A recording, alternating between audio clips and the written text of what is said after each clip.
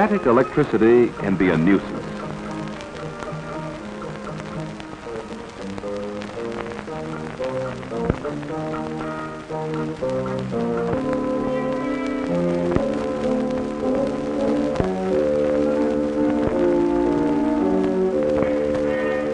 Static spark as well as an industry. Yes, static electricity is a phenomenon that has been with us longer than the memory of man. Since ancient times, scientists have studied static characteristics and its hazards. Now, let's see a few of the laboratory experiments presented in the Bureau of Mines demonstrated lecture on static electricity. First, meet Mr. G.M. Kintz and his co-worker, Mr. H.F. Brown, both of the Bureau of Mines. Static can be generated by rubbing two materials together, but rubbing is not always necessary. When the metal disc is placed on the plastic plate and lifted, it takes a charge with it and leaves an opposite charge on the plate. Static electricity is generated by the contact and separation of materials. Static electricity generated as the metal disc is lifted from the plastic plate flashes the fluorescent tube. It takes about 10 volts of static electricity per inch to excite a cold fluorescent tube. To understand how static sparks can cause fires and explosions, we must know how fire is created. Fire must have a fuel. Substances such as gasoline, benzene, kerosene, and even wood, however, will not ignite. To use them as fuel, they must first be in the form of vapor or gas. But vapor or gas alone won't burn we must add air. We know that it is the oxygen in the air that supports combustion. The third leg of our fire triangle is heat. In addition, these ingredients must be mixed according to a very definite recipe. We must have a definite ratio between fuel and air. This ratio is known as flammable limits. For example, acetylene will burn or explode only if its concentration is between 2.5% and 81% by volume in normal air. Each flammable gas has its own flammable limits. The flammable limits of natural gas are between 5% and 15%. Any percentage greater or less in normal air will not propagate flames. As we talk about static, we are talking about the heat leg of our fire triangle. We normally think of heat as the heat given off by a flame or generated by an electric filament. In discussing static electricity, however, we should think of heat in terms of concentrated energy, electrical energy, often so small that you will not see the spark. Physicists tell us that this amount of energy is approximately what a fly would expend in walking a few inches up a wall. This tiny amount of energy expended in the form of an electrostatic spark will ignite flammable mixtures, such as the one in the explosion tubes you have already seen.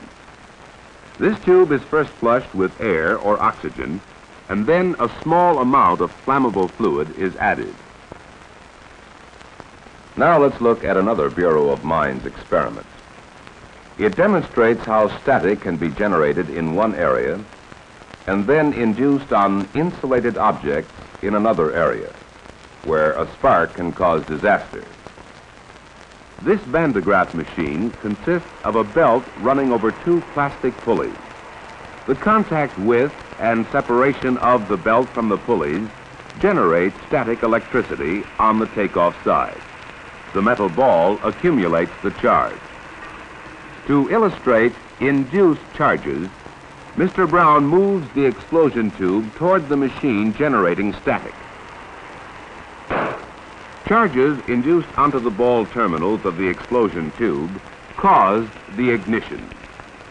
To cause a spark to jump that distance, the machine had to generate thousands of volts.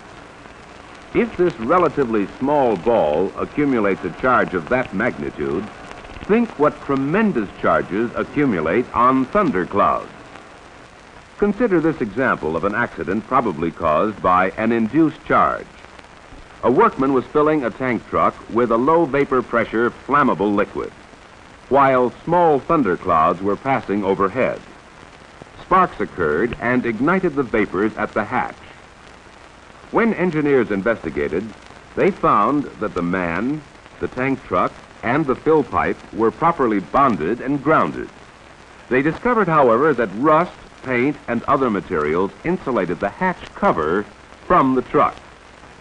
It is believed that as the thunderclouds moved away from the area, the induced charges on the man, the truck, and the fill pipe could leave and follow the clouds. The induced charge on the hatch cover could not. When there was enough difference of potential between the hatch cover and the tank truck, a spark occurred. Other examples are accidents in geophysical shooting and blasting operations. Many premature detonations have been caused by static charges induced onto electric blasting lines by thunderclouds. When the wires of an electric detonator are thrown into the air or strung out, they act as an antenna and collect charges from thunderclouds. If it is not a static resistant detonator, a spark can occur in the detonator, causing a premature ignition, even though the wires are short-circuited. The detonator is fired by a spark that occurs between the bridge wire and the copper shell of the detonator. Let's see exactly how one of these premature detonations takes place. Mr. Brown places a live detonator in a heavy steel jacket. The lead wires are short-circuited. A sufficient charge will be induced in the line to fire the detonator when the lead wires are thrown near the static machine. When there are thunderclouds in the vicinity, blasting operations should be stopped. Because of their safety features, only static resistant detonators should be used where there may be hazards of induced charges. Static is always generated by contact and separation. So liquids falling through space and breaking into droplets generate static. The best way to prevent falling liquids from generating static electricity is to extend the fill pipe to near the bottom of the tank and get subsurface discharge. Lubricating oils and most hydrocarbons in pure or semi-pure state are poor conductors of electricity. But what about liquids that are good conductors? Mercury is one of the very best liquid conductors. Let's see whether falling mercury will generate static. This mercury dropper consists of two funnels. Small holes in the plug at the end of the stem of the top funnel allow the mercury to spray into the bottom funnel. This wire connects the mercury in the dropper to the explosion tube. It makes no difference whether the liquid is conductive or not. When any liquid falls through space and breaks into droplets, static is generated and can accumulate on any nearby insulated conductive object.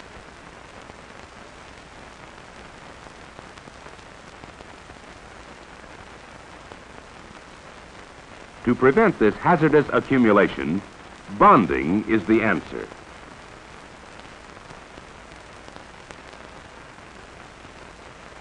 Now, as mercury flows through the funnels, no explosion occurs.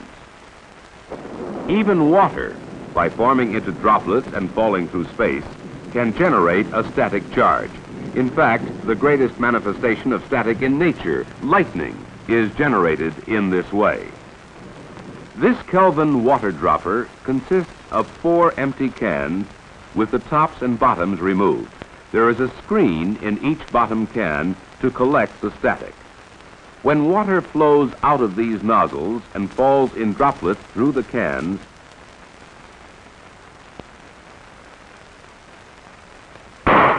sufficient static is generated to ignite the explosion tube.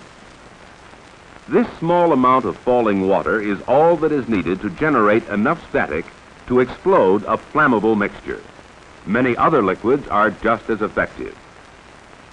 Mr. Kintz will show us what happened in an ammonia manufacturing plant. A water solution was flowing into the top of a large tank containing a flammable hydrogen mixture.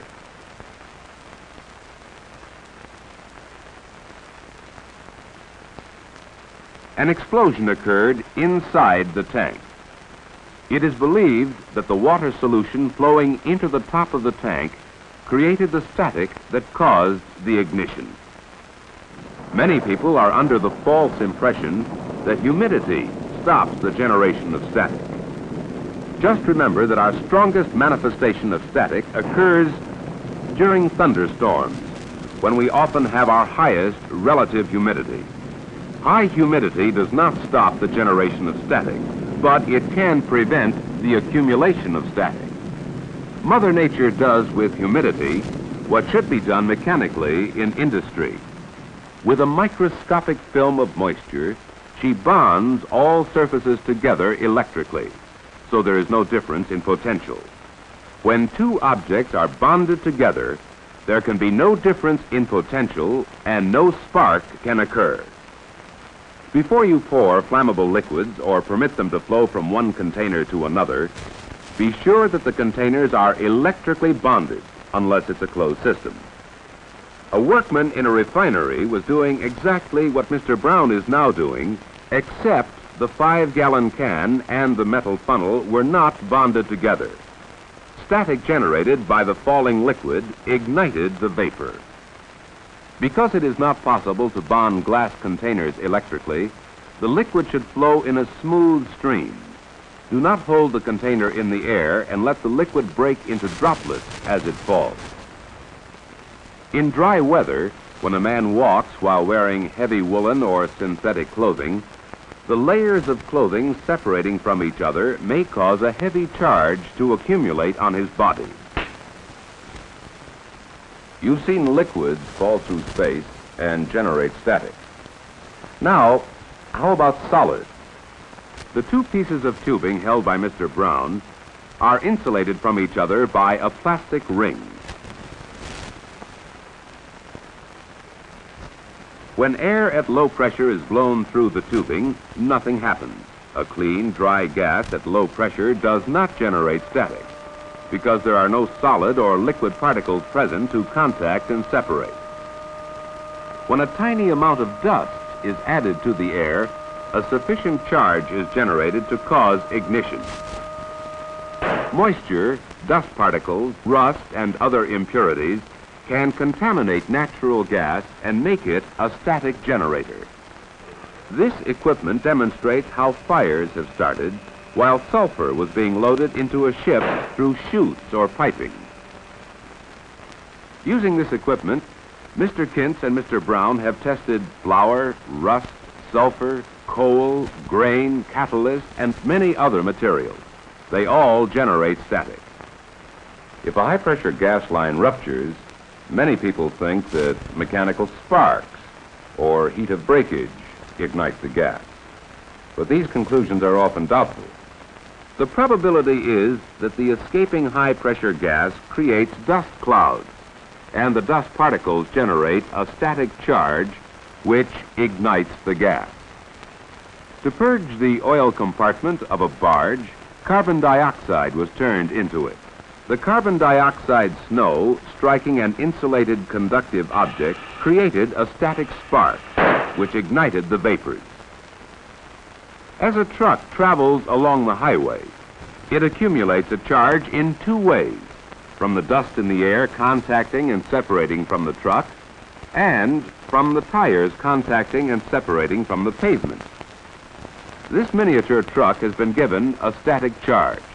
Here's what can happen when it backs up to a tank which is leaking flammable vapors. This hazard can be eliminated by the proper bonding and grounding of the truck before opening the fill caps. With everything bonded together, there is no difference in potential.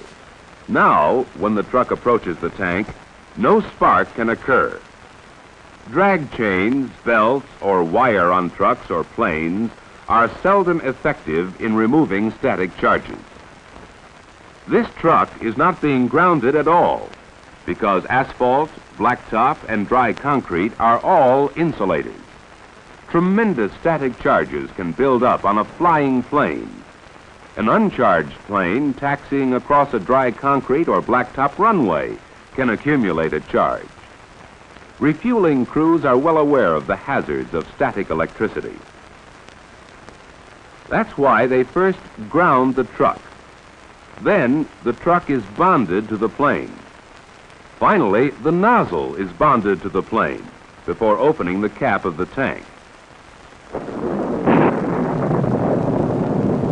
Lightning is nature's greatest manifestation of static electricity.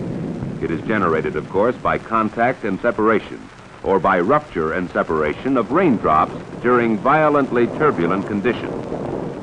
As charged raindrops fall to Earth, they leave one charge in the cloud or atmosphere and bring an opposite charge to Earth. After enough raindrops have fallen, the difference of potential between Earth and the cloud becomes great enough to cause a stroke of lightning.